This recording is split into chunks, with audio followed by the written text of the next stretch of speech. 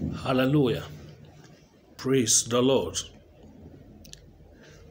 With a mix of pain and gratitude to God, I speak and share the word of God and encouragement with you this morning. This is over the passing away or passing on of our brother Shibuke. I encourage you to be strengthened in your heart. Death is part of God's program for humanity. God is the basis of accountability to Him. The Bible says that it's appointed for everyone to die at one, one, once, and then it's appointed to man to die once, and after which is the judgment to give account of what we do with our life, with grace and the assignment He has committed to our hand. Secondly, death is just by definition means absence from, from this body and to be present with the Lord. Our brother is absent from this body today and he is present with the Lord now. I want us to understand that very carefully as we pass through the pain of this moment that will become a consolation for us. In the book of Second Corinthians, chapter 5, verse 1 to 13. I will not have the time to read all through, but I'll just go through it. In verse 1, say, We know that if our earthly house or this tabernacle were dissolved, we have a building of God, a house not made with hands, eternal heavens. When this present body is dissolved, is committed to, to, to, to, to the earth, we have a body with the Lord, eternal in heaven, where death have no dominion over it. In this present body, verse 2, we groan, we have pain. We have pain, but in the body that the Lord gave to us, it shall be free from pain, free from all form of sicknesses and all form of attacks. And we shall not be found naked because we are clothed with a heavenly body. Verse 4 says, While we are in this tabernacle, we groan, being burdened. We groan, we have pains, we have burdens, we have challenges that we go through. But with the body that is given to us in heaven, the body will give will no longer die. The Bible called this as these dying bodies. These dying bodies. Say our dying bodies make us groan and sigh.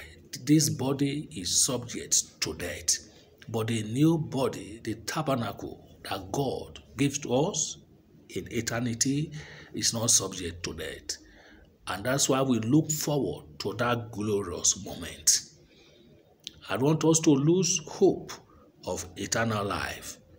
Let this be part of God's message to us that is appointed to us. That is the way of every man. That one day we too will go the same way if Jesus tarries. And those of us that will be alive when he will come will be raptured. But will drop the mortality. This death that this body that is subject to death shall be dropped. I want us to have the hope of eternal life that we shall meet with our brother again on the day of resurrection. And I pray this morning that none of us will miss that glorious moment. Praise the Lord. I don't want to go to testimony or eulogy about him, but I choose this opportunity to address ourselves as we all pass through this pain, which has not been common among us in our midst, and it shall not be common. Praise the Lord. So let's have this confidence that He's with the Lord, and we have the responsibility to walk, to walk with the Lord, so that when the Lord Himself shall appear, we shall have a place with Him. That we shall have a place with, with Him. Praise God. We need to be sober. In verse 13 say, For whether we be beside ourselves, it is God. Or whether we be sober, it is for your cause. I'm sober for your cause.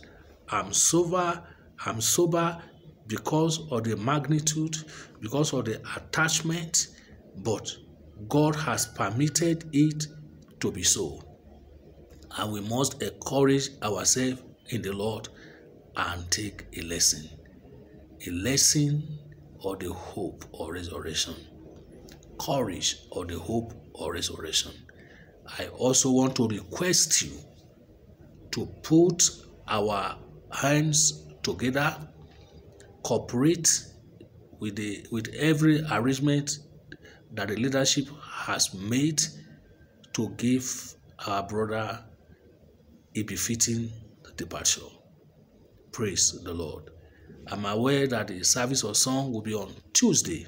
I encourage all of us to be there.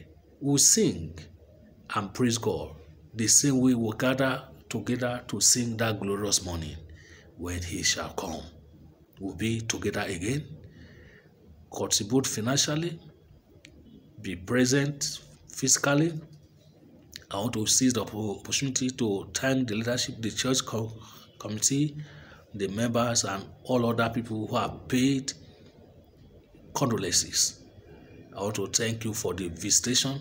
Thank you for coming together. Uh, the word I've heard from the family is very impressive. Knowing that yes, the, the, the family is appreciative of the church and the demonstration of love even for past events. I want us to continue in love for one another. Whether it's a time of pain or the time of pleasure, love should stand us out because love is the nature of God. It's part of the body of Christ, but in this on this side of the world is part of communal center. Is our brother. We should learn to learn to take everyone as our brother and as our sister. For God has brought us together for a purpose. I pray for you and the entire church this morning that God strengthen your heart. I wish I were around, but I share the same pain as you do. But I'm encouraged by the word of the Lord that death is not a finality. It's to be absent from the body and to be present with the Lord. Coincidentally, for two weeks, God has been placing that word on my heart. I, I believe I share with my, my wife what death is. To be absent from the body and be present with the Lord. I didn't know what was coming, but that understanding had been coming to me for the past two weeks. I even told her, if I remember very well, that I'm, I'm getting to know what's death. And the answer is to be absent for the body, but to be present with the Lord. I never knew that that word God was programmed in my heart for a time like this. And I need to share this. That will give you hope. It's just He is alive. He is living. He is with the Lord, with whom all of us shall be together. My question is when the trumpet will sound, or when it's our turn, where will we be? Let's maintain the faith. Let's walk in the faith. Let's be strong in the faith. Let's accomplish the assignment. Let's walk to please the Lord. Let's serve God with all our earnestness, with all our strength, all our power, and all that has given to us. Let's not live as if we are our own. We own ourselves. God owns us. We are planted for an assignment, assignment of impacting the world, assignment of converting the world to Him. The Lord bless you. The Lord strengthen you. The Lord give you courage.